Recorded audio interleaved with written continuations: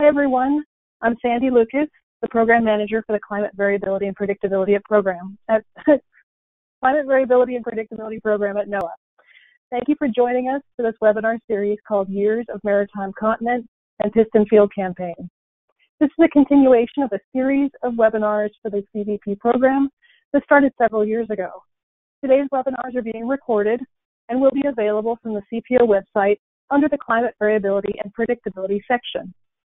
If you've missed any of the prior talks in the past CVP webinars, I encourage you to view them from our website. All sessions from this series are now posted there. The Years of Maritime Continent is an ongoing set of international field campaigns and modeling efforts focused on the Maritime Continent region. YMC is led by the countries of Japan, Indonesia, the U.S., in partnership with several others. Of, of particular interest to NOAA and the Climate Variability and Predictability Program is to improve understanding of processes that affect the propagation of interseasonal oscillations, such as MJO, in the maritime continent and its broader region. MJO is important to local weather and climate, as well as having global teleconnections. However, the maritime continent region can sometimes act as a barrier to the propagation of MJO, and weather and climate models have a hard time reproducing this effect.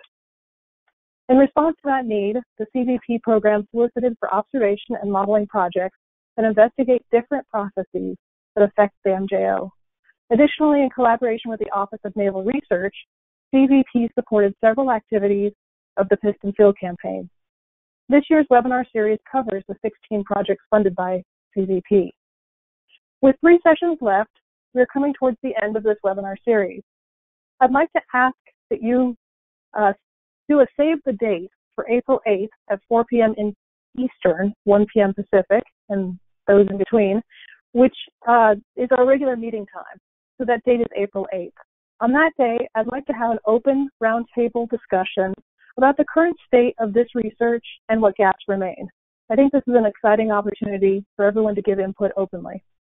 This meeting will be led by Chidong Zhang, and I welcome input from all of you, including those not directly funded by CVP. So just to repeat, please save the date on your calendar for April 8th at 4 p.m. Eastern. More information on this will follow in March. Additionally, one last piece of housekeeping as we come towards the end of the series is that if there's interest in continuing this YMC webinar series as a community-led effort beyond March, please contact me and Victoria Breeze to volunteer to organize future speakers and dates. I may have speakers already lined up for April 22nd, so your duties, if you should volunteer, would begin in mid-April. Again, please contact us at the email addresses that are shown on this slide. So I'd like to thank uh, Dr. Victoria Breeze for our communication specialist for her continued support during this webinar series. Victoria will be describing the series and introducing the speakers today. Victoria, whenever you're ready. Thank you, Sandy, and hello, everyone, and welcome to the eighth of 10 webinar sessions, not including our uh, wrap-up session afterwards, on the topic of Years of Maritime Continent, which will feature two presentations per session and will run from September 10th, 2020 to March 25th, 2021. The series of presentations will share the latest results from these projects and will allow PIs to discuss the importance of their work, outcomes, and lessons learned with a broader scientific community. We hope you will enjoy today's talks and ask plenty of questions. As you listen to today's presentations, if you have a question you would like to ask the presenter, please raise your hand. Raise your hand is a feature which you can find on the control panel for GoToWebinar. At the end of the presentation, I will unmute those who have raised their hand so that they can ask their question using audio. If you have audio problems, I will ask you to please type your question into the questions box, which can also be found on your control panel. Our first speaker today is Dr. Wei-Ching Hsu. Wei-Ching is currently a postdoc fellow at the International Pacific Research Center and a research affiliate in the Oceanography Department at the University of Hawaii. After receiving her bachelor's degree in atmospheric science from National Taiwan University, Wei-Ching got her master's degree in earth sciences at the Georgia Institute of Technology and finished her PhD in oceanography at Texas A&M University in 2018. Her main research interests are air-sea interaction and model biases in tropical simulations. Wei Ching, thank you so much for joining us. At this time, we will turn the controls over. Looks good. Okay. Um, aloha, everyone. Um, before I start, I would like to thank uh, my PI, Kelvin, for giving me this opportunity to talk about our research. I also want to thank um, our collaborators, Anna, Yanli, and Kazu at the IPRC. Um, so based on previous studies, uh, people have shown that the ocean response is very crucial for MJOs. So using uh, compared to using atmospheric only model, um, using the uh, couple model will give us a better simulation of MJOs. So this suggests that the ocean response or ocean process is very important when we simulate MJOs. So in this uh, study, we'll be using an ocean-only model to look at how um, the simulation of MJO-related response are. So in order to do that, we'll need two different things. First is we need a um, suitable forcing. So we need a data set that can capture the survey fields that associate with the MJOs. And we also need a good model that has sufficient horizontal and vertical resolutions. In order to get a suitable forcings, we have been looked at three different reanalyses, which are JRA 55, ERA interim, and ERA 5. And to identify um, the MJO event days, we use the bimodal intraseasonal oscillation index. And we compare the three reanalysis to different observational data sets, depending on which variables we're looking at. And the period to look at are basically from uh, 1979 to 2016. So the, excuse me. So the top figures are showing um, both the extending EOF 1 and 2 of the winter OLR in the tropics. So um, combining the two EOFs, we're looking at half of a MJO cycle. So from here, we're looking at the signal propagating from the Eastern Indian Ocean all the way to Western Pacific Ocean. And to, to um, look at the typical MJO signal, um, here we multiply all the values by one standard deviation of the corresponding PCs. So here um, we only plot out the results for uh, Australasian and the JRA 55 because both of the ERA datasets has uh, really uh, similar to observational uh, values. So by looking at um, the values here, we can tell that the JRA 55 is underestimating the signal throughout the half cycle we're looking at. So um, here we also plot out the MJO phase composites um, of the intraseasonal OLR. And the three regions we're looking at are the Eastern Indian Ocean, the Maritime Continent, and the Western Pacific Ocean. And the lines here we're looking at are um, values shown in uh, black and ERA5 in red, ERA interim in blue, and JRA55 in light blue. So in all the three regions, we can tell that the JRA55 is way underestimating uh, the values throughout all the eight phases in all the three regions. And uh, if we look at the two ERA uh, datasets, then they are more comparable and also the values are closer to the observation. So because of this, we'll be focusing on only the two ERA uh, datasets. The top figure here um, are showing basically the, the same composites, but now we're looking at the intraseasonal precipitation composites. The um, black line here is still the Australasian, while the red line here is ERA5, and light blue line here uh, is ERA interim. So in all the three regions we're looking at, both of the reanalysis underestimates the value also throughout the eight phases. And it's, especially in the Western Pacific Ocean, both of the ERA datasets are not getting uh, the peak here around phase seven.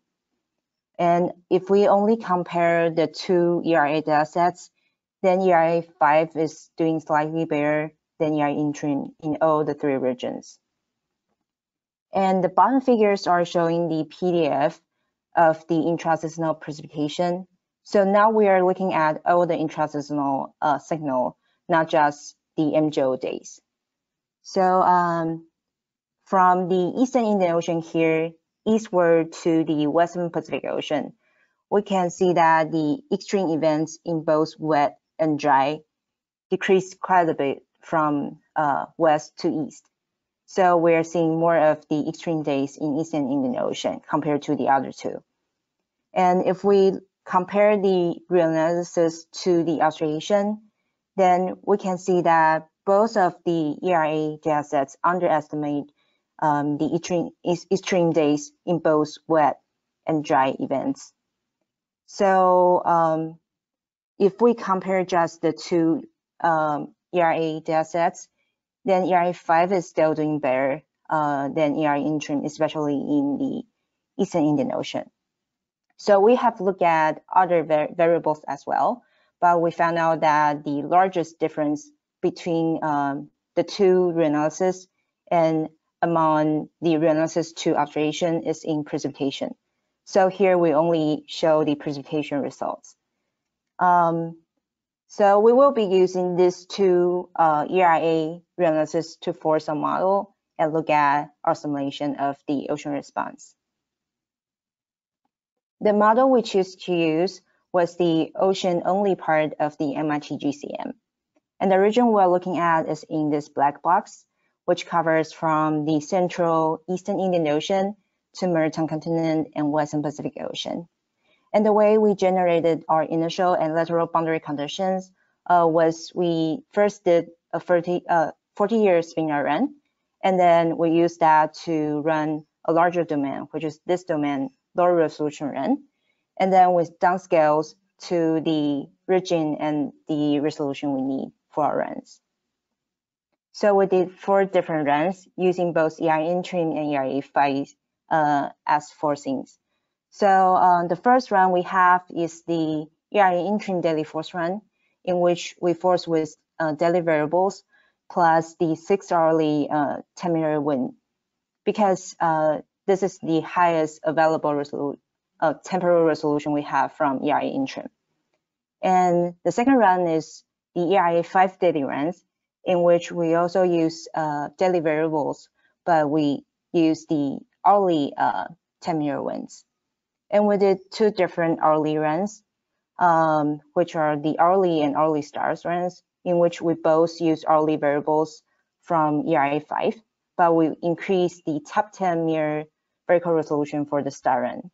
So in all of these uh, four runs, we use one ninth of a degree as the horizontal resolution. And uh, for the top three runs, we have 187 layers totally, uh, vertically, and then um, the resolution is decreasing uh, from around three meter at the top uh, to the bottom.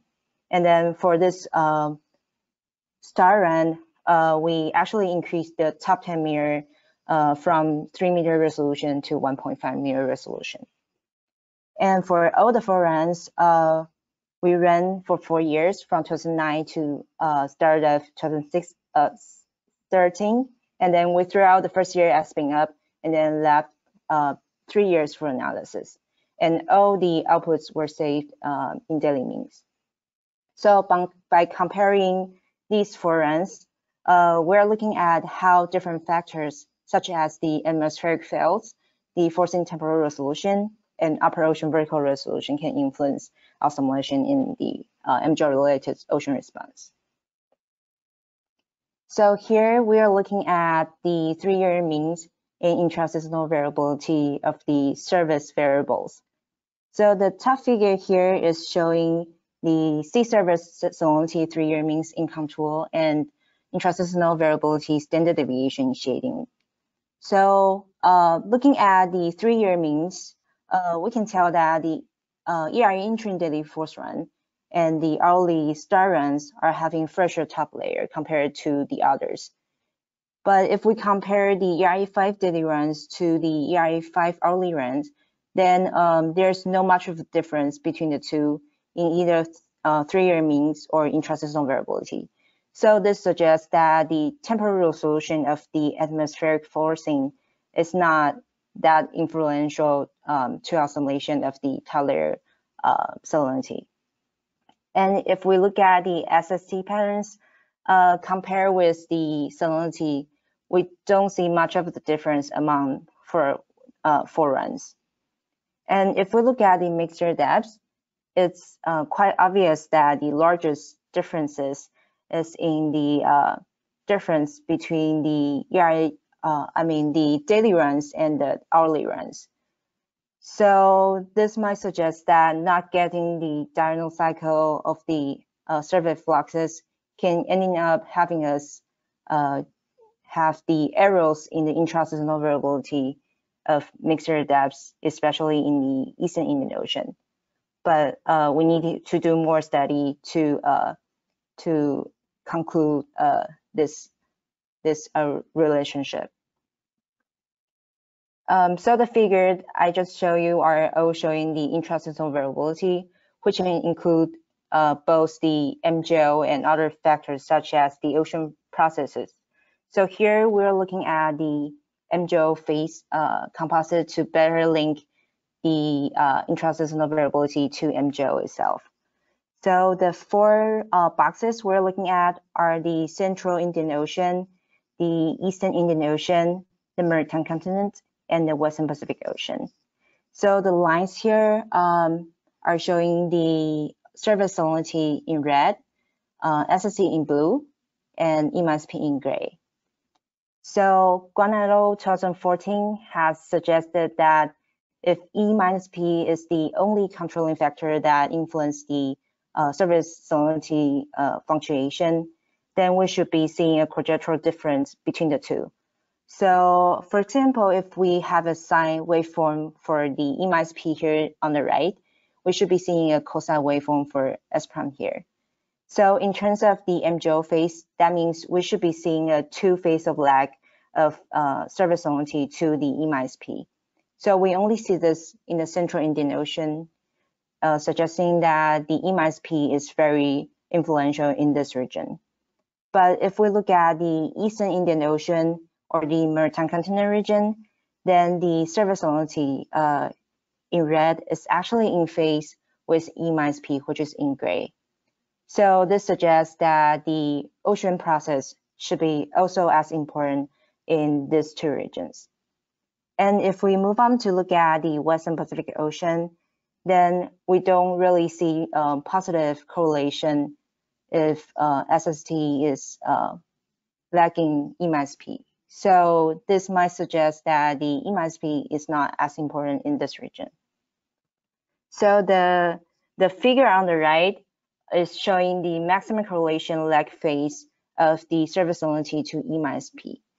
So uh, from Central Indian Ocean, we can see that the um, SSS is lacking E for two phase, and then it decreased to uh, zero phase or even no uh, correlation. And to better uh, compare the differences among the forums, now we're looking at the maritime continent phase composites between the ERA interim daily run and ERA 5 daily run. So the largest difference we can see is in the uh, red line, which is showing the uh, surface salinity variability. So using the uh, equation of state, we can uh, estimate the contribution of change in uh, surface temperature as well as the surface salinity to the change of the surface uh, density. So based on this, we also see the uh, contribution from the salinity much larger in the ERA interim daily run compared to ERA 5 daily run.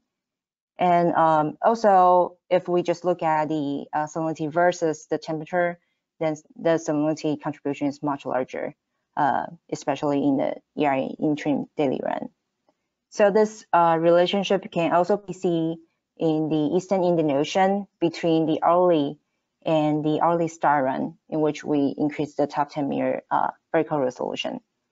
So if we compare the blue lines uh, which is showing the SST variability, then we don't really see any differences between these two runs.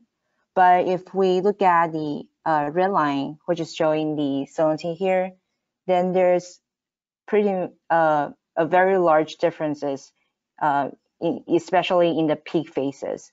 So we can see that the early star run is having much larger variability compared to the hourly run. And this can also be seen um, in the contribution from the surface salinity to the uh, surface density.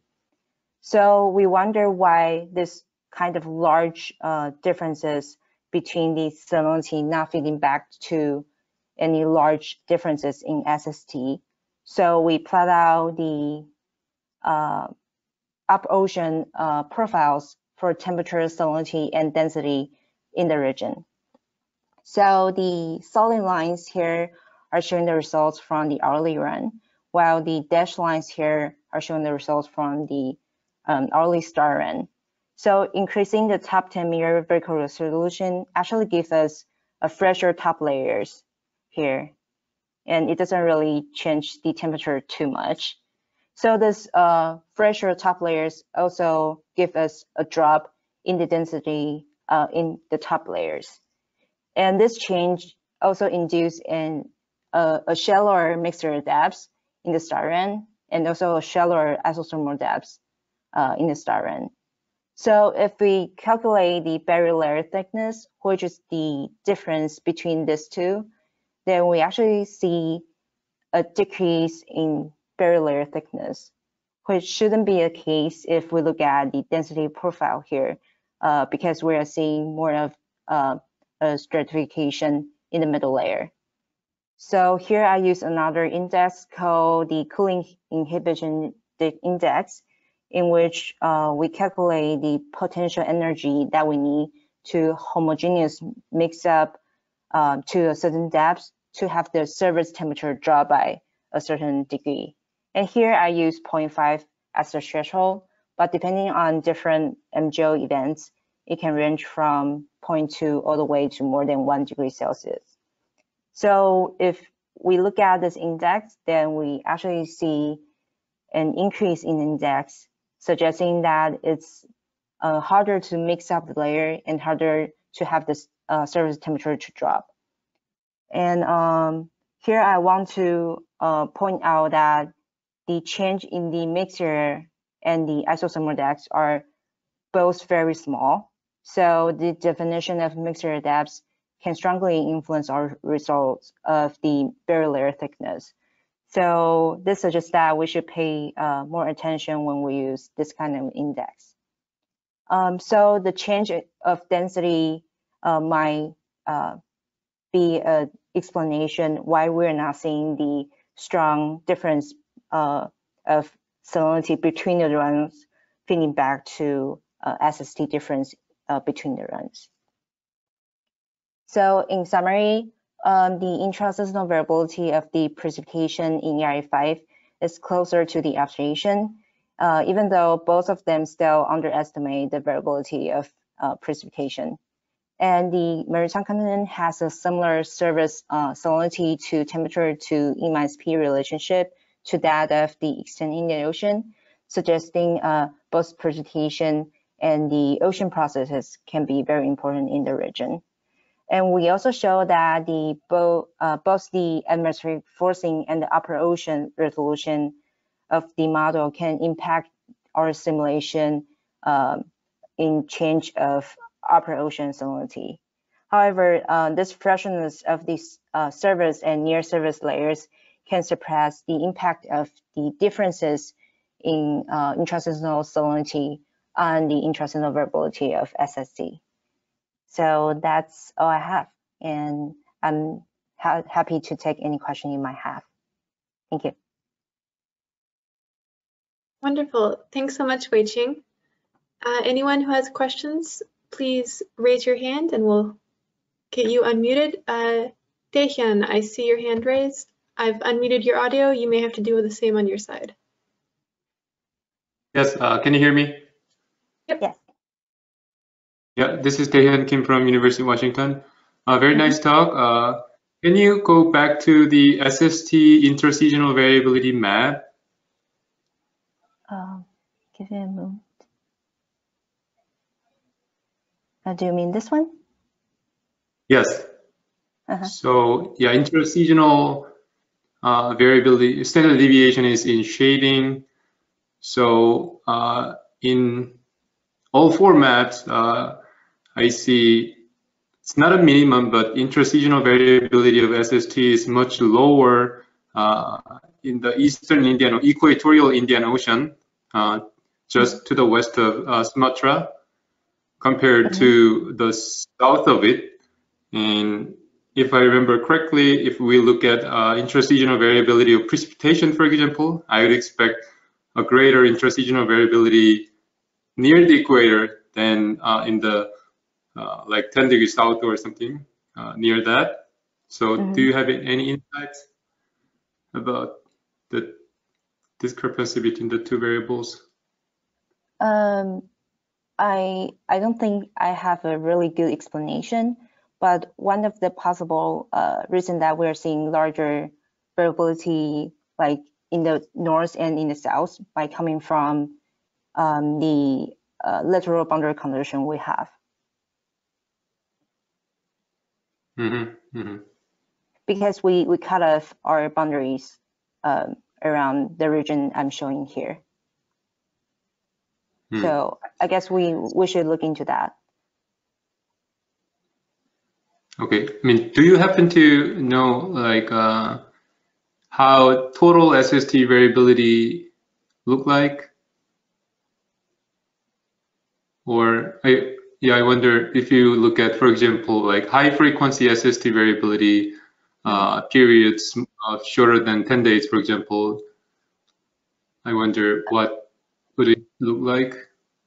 Um, I haven't looked at that, but it's a good s- suggestion. I will do a- look at that. Thank you.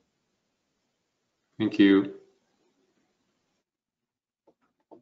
All right, the hand's back. Chidong, you should be unmuted on your side. Okay, can you hear me? Yes. Okay, great. So uh, I'm very interested into um, to the results of the phase re- relationship between uh, surface salinity and uh, temperature. Can you go to Mm. that slide? Uh, yeah, exactly this one. So um, what striking me is um, the box uh, over Java Sea uh, west of uh, Borneo, and that's uh, red. And to the east and west is all yellow. So make that location very special. Do you have any explanation of that? Uh, right. Um, so in this region, I think one of the possible reasons is we don't have enough uh, ocean points in the box. Because I, did like a composite for each like box instead of using uh, each grid point to do this calculation. So I, I guess I will need to check the uh, the significance of the uh, correlation in the region to have a better idea. Okay, thanks. Mm-hmm.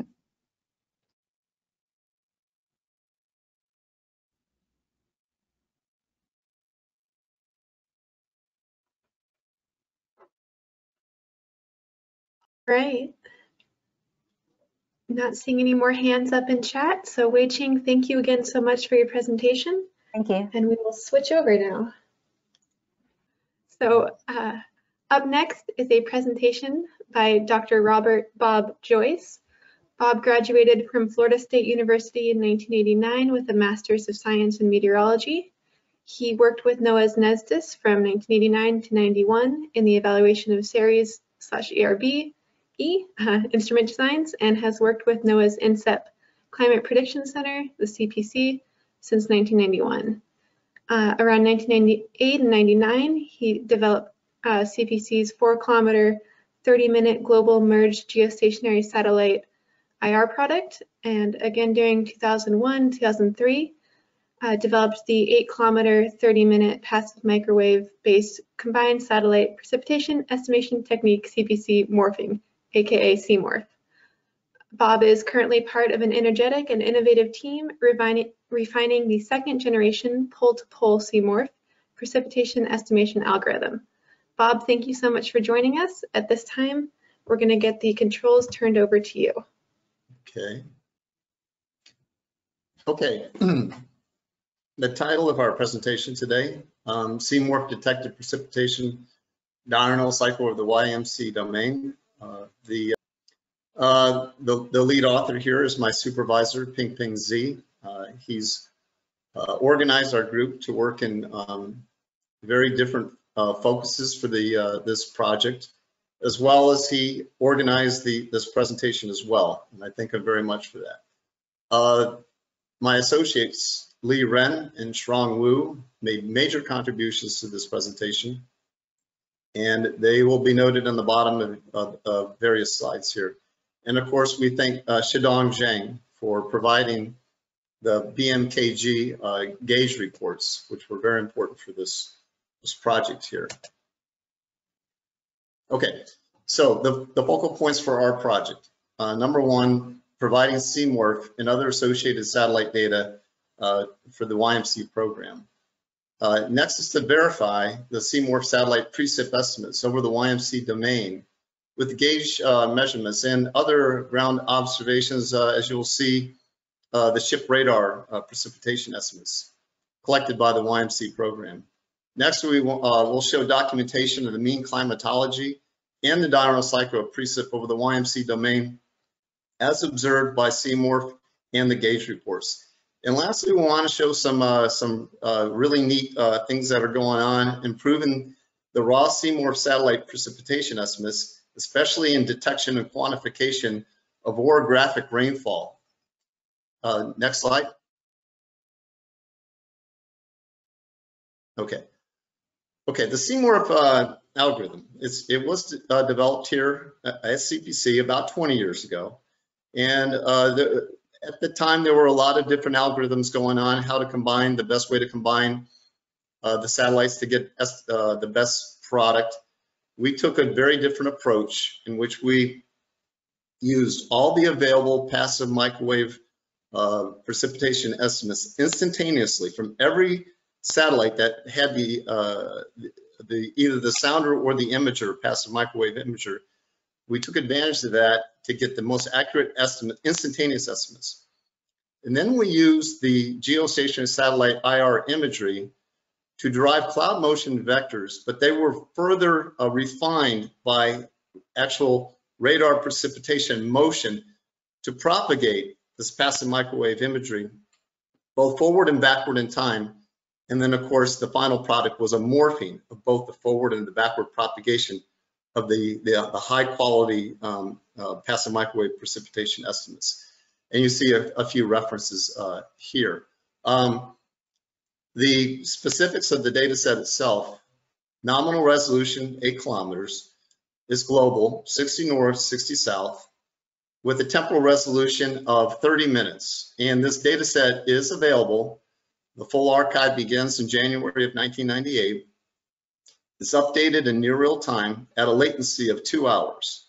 And we also have extreme precipitation climatology uh, of the CMORPH at the 99, 95, and 90 percentiles. The mean and percentage of the rainy days. And you cannot see the FTP site where all this is, but you'll see it a little bit later on. Uh, currently, CMORPH is used by the WMO to monitor precipitation extremes over Southeast Asia.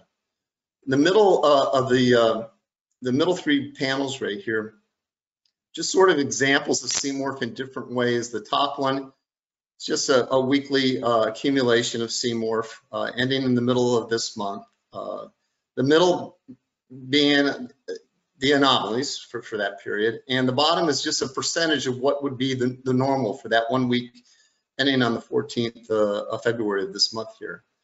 The upper right panel here is a standardized precipitation index uh, for a 30-day period of the CMORPH estimates, ending uh, again at the uh, February 4, 14th, middle of, of this month here.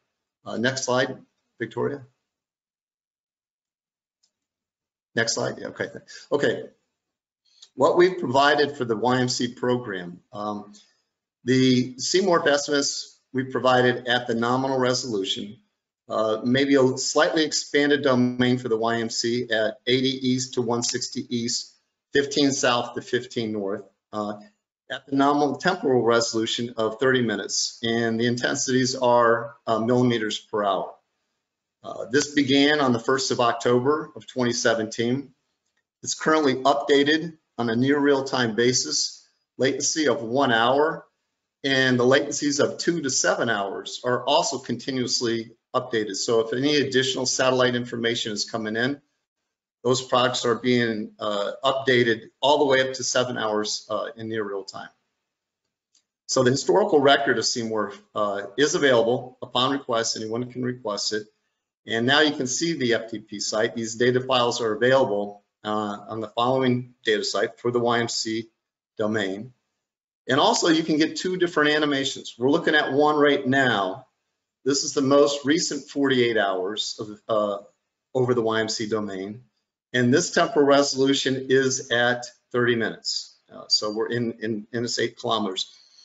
There's also an additional animation which has a little bit longer record. It's, it's, it's out to seven days. And, uh, the temporal resolution is one hour. So it's uh, a, a, little a little bit bigger in the temporal um, resolution, but you, I think you get the same uh, same kind of pictures what you see with this animation right here. Victoria, can, next slide.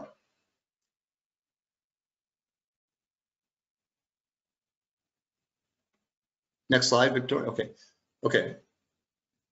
We really want to thank Chidong Zhang. Uh, he was the one who arranged the, the gauge reports that we got from the BMKG uh, of Indonesia, uh, both three hourly gauge reports and also hourly reports.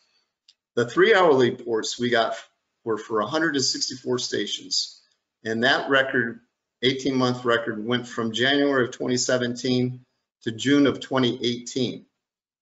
In addition, we got hourly reports from a subset of those stations, 95 stations, a longer period from January 2017 through July of 2019. So the first thing that we did was an intercomparison of the two data sets for that 18 month overlap period. And we've what we found was very interesting. For some of the stations, we had almost a perfect correlation of some, some higher than 0.95 when we lag, when we did a temporal lag of the local time hourly reports with the synoptic time three hourly reports. Uh, for some stations, we got great agreement. For others, we did not get very good agreement. When we saw the disagreement, it was very clear that the three hourly reports were agreeing more with the satellite-based CMORPH estimates relative to the hourly. In fact, by using, well, I'll get to that later. So we first used the three hourly station reports that agreed very well with the hourly stations to come up with 39 uh, high correlating uh, hourly stations. And you see those, I don't know how well you can see this in this panel here, they're little red squares. These are the locations over, over the YMC domain uh, where these 39 stations are, and they had high correlations. Uh, can I go back? Yeah, yeah, okay. Uh, so in addition to using the three hourly ports, which agree very much better with the CMORPH than the aggregated three hourly temporally matched, we also use the three hourly uh, reports to do a QC. So when we fitted the hourly with the three hourly reports, when they both uh, indicated precipitation, we use the hourly. When they both indicated zero precipitation, we use the hourly. When they disagreed, one had precipitation, the other one did not. We used the three hourly uh, reports to screen the hourly reports. Okay, Victoria, next slide. Next slide. Sorry, there's a bit of delay, but it's going. Thanks. Yeah, sorry about that. I'll, I'll get ready for the delay. Uh, this is a um, scatter density plot between the aggregated hourly BMKG on the x-axis and the three hourly CMORPH on the y-axis, you see some agreement. However, there, there are definitely differences. Uh, for one, right away, you do not see a lot of three hourly CMORPH accumulations greater than uh, 30 millimeters for that three hour period, whereas you do for the aggregated hourly BMKG. Uh, you, you know, you look at that, that about 30 millimeters uh, for that, that three hourly period. The correlation is not that great. It's 0.37. And over other regions such as CONUS with MRMS, we've seen a much higher correlation. This is again just the raw CMORPH, no gauge corrections or anything. We've seen those correlations right around the order of about 0.6. Other thing that we did was we wanted to look at what was the best spatial resolution of the CMORPH uh, precipitation retrievals to match with the gauge locations. We looked at the nominal A kilometer, we looked at quarter degree, and we looked at half degree. The highest skill that we found resolution in the CMORPH was at quarter degree. The other thing that we noted, the performance of the CMORPH degraded in, in regions of uh, you know, substantial orographic effects. Okay, uh, next slide, uh, Victoria.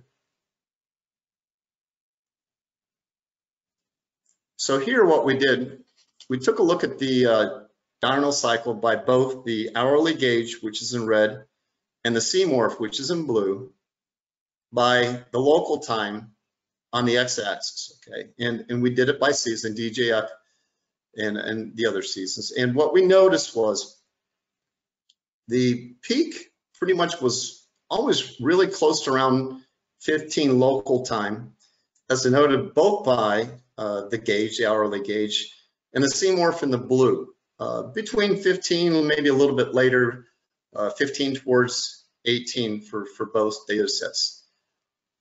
In a similar fashion, we also noticed that both showed the minimum between local time three and six for both data sets.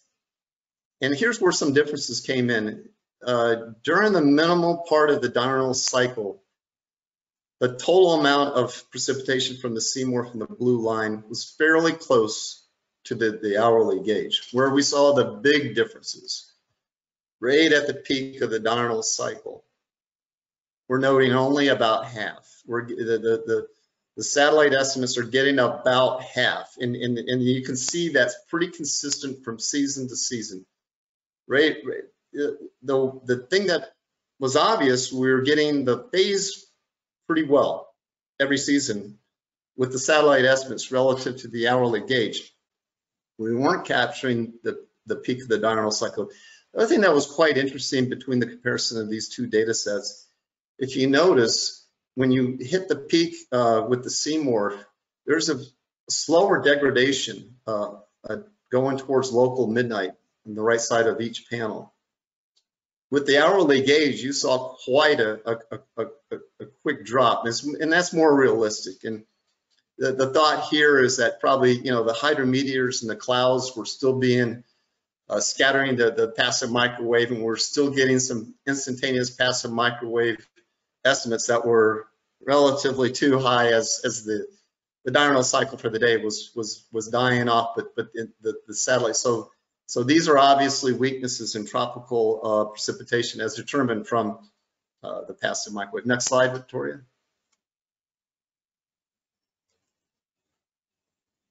So we also looked at um, sub-regional, uh, the, the diurnal cycles, uh, sub-regional sections here.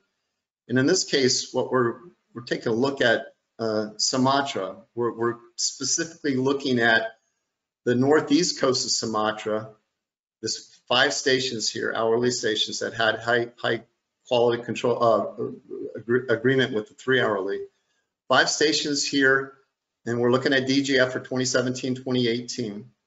And we're looking at the southwest coast of Sumatra. There were four stations here, also for DJF uh, 2017, 2018. We saw, see some real big differences. The CMORPH and the gauge for uh, DJF northeast coast of Sumatra started seeing a diurnal cycle peak right at about 15 local time. And that kind of carried on through the day, almost until local midnight, uh, with both both data sets actually. Uh, just before local midnight, the uh, the gauge, you know, still increasing. The CMORPH kind of holding even rate here. CMORPH did not really underestimate that badly over the northeast coast of Sumatra. But if we go down to the southwest coast of Sumatra, we do see something quite different. We see a peak in the hourly gauge right around between 18 and 21 local time. Uh, and we see a really sharp drop with the gauge. It really ends things pretty quick. Whereas the CMORPH really underestimating the peak of the diurnal cycle on the southwest coast of Sumatra, uh, kind of flat, all the way from that, you know, sort of 1800 uh, local time till uh, local midnight. So very different between the two different coasts. Okay, Victoria, next, next slide. We also looked at the shipborne radar precipitation comparison against CMORPH. In this case here, the radar uh, aboard the ship investigator uh, cruised the Australian coast between the middle of September and the end of December of 2019. And if you can see it, there's a little red line along the northwest coast of Australia. That's the track of the ship right there. And you can see, if you look interior of the coast, you can see some, uh, this is the mean uh, CMORPH precipitation for that period. You really see a lot of, uh, a lot of uh, uh, precipitation as indicated by the satellite rainfall. And what we, what Ping Ping found is like for really large events, and he, and he depicted a really nice one down here in the bottom two panels, the CMORPH on the bottom left, agreeing fairly well with the, the, the, the ship radar precipitation uh, on the bottom center uh, uh, part of the, the, uh, um, the slide. But the quality of both the precipitation from CMORPH and the ship radar was found to be compromised over regions of uh, complex uh, topography. And right now our, our group is, we're working on the, uh, the reliability of both the, the radar and the CMORPH uh, over this, uh, this, this northwest uh, coastal region of Australia right now. So Victoria, next, next slide.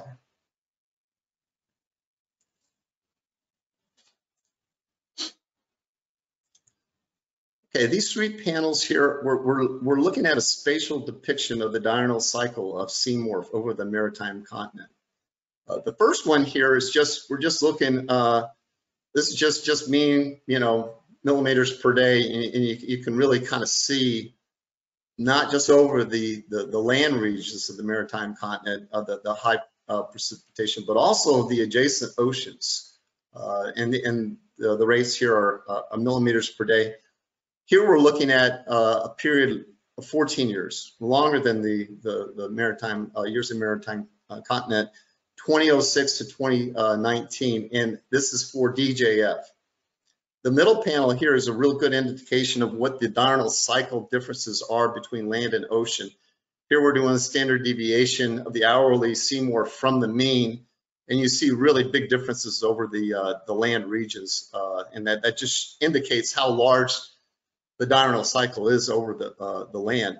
The bottom panel is kind of interesting here because we're looking at the time of the maximum precipitation of the diurnal cycle, and this is a universal time. And you look at the, the land regions, and they're all indicating basically about the same time. You see a very, very gradual transition of that diurnal cycle as you go into the, uh, uh, the, the, the, the, oceans right offshore from from the man uh, from the land. Uh, to to look at that transition a whole lot better, the very next slide is an animation of the diurnal cycle over the maritime uh, continent here.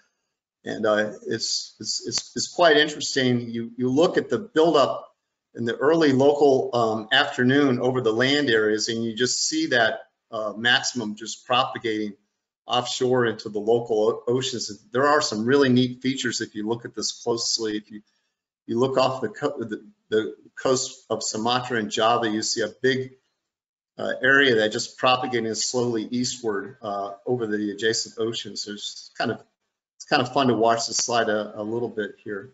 Uh, Victoria, if you can go to the next slide.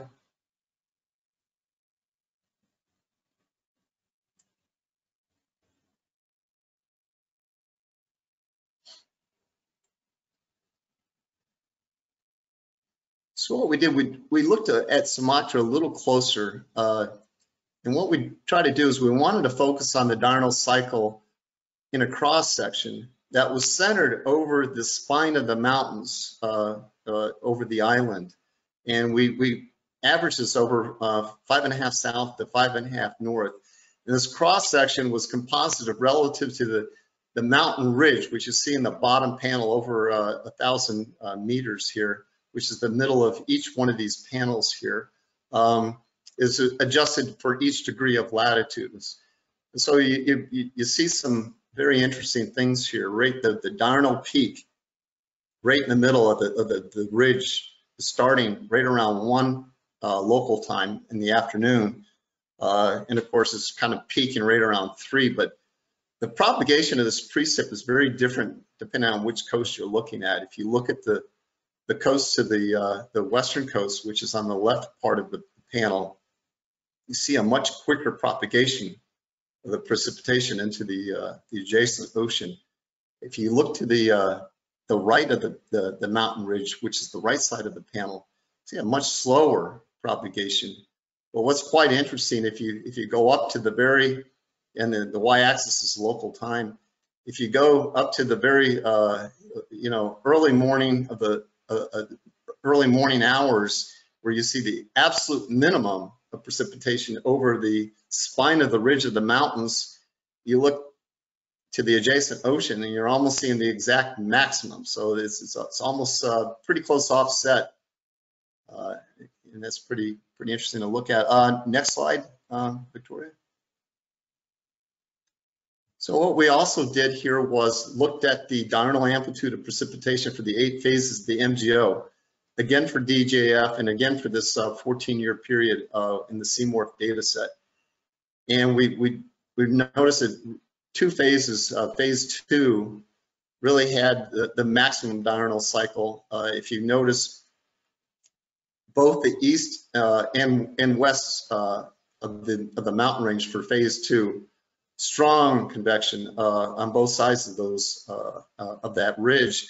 If you go down to the, the, the suppressed phase, which would be five and six, you look at five, a very, very weak convection um, west of the ridge uh, of the mountains there for phase five. Victoria, next slide. So looking at those two individual phases a little bit closer, um, what we notice again, we're superimposing the, the, the uh, again, stratified uh, by local time uh, on the y-axis to the ridge of the mountains. You see in the phase two on the left part, really strong convection on both sides of the ridge of the mountains but you really don't see propagation uh, of that convection into the ocean. Whereas if you go to the right side of the, uh, the slide, you, you, and there's very weak convection west of the mountains, but uh, to the northeast, uh, to the east of the mountains, you do see some propagation into the into the oceans for this uh, uh, for this phase right here. Okay, Victoria, next next slide. Okay, summary and future work. Okay, so as we saw in the beginning of the presentation, the CMORPH didn't have great skill uh, in the hourly and three hourly uh, correlation with the, with the gauge over the maritime continent region uh, compared to other regions such as CONUS with the MRMS, but it did it did capture the phase of the diurnal cycle uh, pretty well, uh, albeit the amplitude of the peak got about half of the uh, precipitation. Okay, so throughout the uh, presentation, we did see how strong the diurnal cycle over the maritime continent is. Uh, the peak over the land in the early, no, actually sort of mid towards the late afternoon, and for the uh, adjacent oceans in the early morning hours. Uh, so over Sumatra, we saw that the diurnal cycle, cycle propagated from the mountain ridges towards the ocean over both the eastern and western slopes, reaching the maximum over the, uh, the, the island in the mid and late afternoon, and then towards the, uh, uh, the early morning hours for the ocean. Over the eastern side, we saw the convection over the ocean developed and then moved back west towards the land and, and converged with the convection coming down from the mountain over the eastern coastal regions. So uh, the last two slides, we saw that the, uh, the amplitude of the uh, diurnal cycle was modulated by the MJO, enhanced for the uh, phases two and three and suppressed for phases five and six. And lastly, I want to show some, some really interesting uh, work that we're doing in our, our group here, which is to help quantify the precipitation intensity associated with in regions of, of, of substantial uh, or orographic effects. And if you look at this, there's three panels here. If you look at the, the most, uh, the one on the left here, this is the raw CMORPH on the x-axis, and you can see a real strong underestimation. And this is over the western coast of the, uh, the US. Strong underestimation compared to the MRMS uh, radar product, which is the y-axis. Okay, this is the raw with no correction done whatsoever. The middle panel does show improvement. This is just a, a, a PDF, uh, you know, correction to the raw uh, CMORPH estimates. So decent increase in correlation and a reduction of the under um, bias uh, quite a bit. But what Pingping has been working on lately is uh, inclusion of model-based uh, circulation of vertical profile information with an AI-based uh, technique that shows some results in the far right panel, which are really, really quite encouraging. An increase of correlation of almost 0.1 and almost zero bias uh, left. And again, we're looking at a, an area where satellite precipitation estimation is completely uh, at its worst. And, and we see if you look from the left panel, the raw satellite estimates to the right panel of what uh, Pingping's been able to do. Uh, substantial improvement in, in a, a good look for future uh, uh, work. Uh, that's what we have. Great. Thank you so much, Bob. That was a wonderful presentation. And thank you for your patience with my internet delay. I, Uh, yeah, no, no problem. All right. If we've got any questions for Bob, please raise your hand in the And can chat. you also un- unmute uh, Pingping, uh, Victoria? Yes, Yeah, that is done. okay. Questions currently, but as Ping Ping sh- said, you can reach out to them later. And Ping Ping, before we go, I don't know if there's anything you or Bob wanted to add uh, before I do the sign off. Yeah, well, well, uh, thank you very much. Well, uh, I think uh, uh, this uh, study demonstrated that we really need to combine the strength of uh, in situ measurements and second observations to to get the uh, the comprehensive picture of uh, uh, uh, the diurnal cycle and its interaction with interaction with MJO, and we believe we get something very interesting, and we want to continue this so that we can will understand more about this important topic about the interaction between MJO and diurnal cycle over uh, the uh, maritime continental region.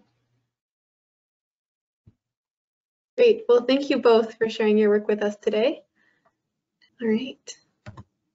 So again, Okay. thank you everyone for joining us today for this set of presentations in our series of Years of Maritime Continent.